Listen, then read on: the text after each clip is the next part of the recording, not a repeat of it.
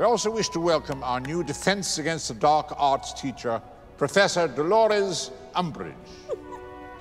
and I'm sure you'll all join me in wishing the professor good luck. Now, as usual, our caretaker, Mr. F has asked me to remind you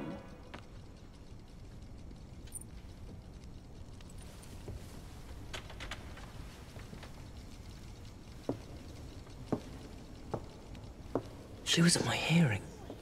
She works for Fudge. Thank you, Headmaster, for those kind words of welcome. And how lovely to see all your bright, happy faces smiling up at me. I'm sure we're all going to be very good friends. That's likely.